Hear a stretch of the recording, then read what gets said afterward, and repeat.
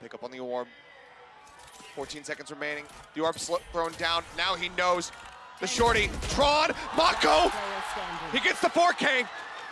The TP used. The pit. He's to commit it. He knows where Mindfreak is. He backs off. Another shorty now in their hands.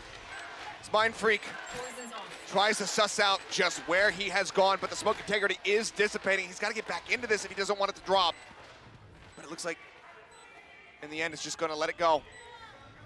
Maybe a shoulder scene for a brief moment. Launching It's hard smoke. to tell. Smoke coming down, and MaKo, his second ace of this.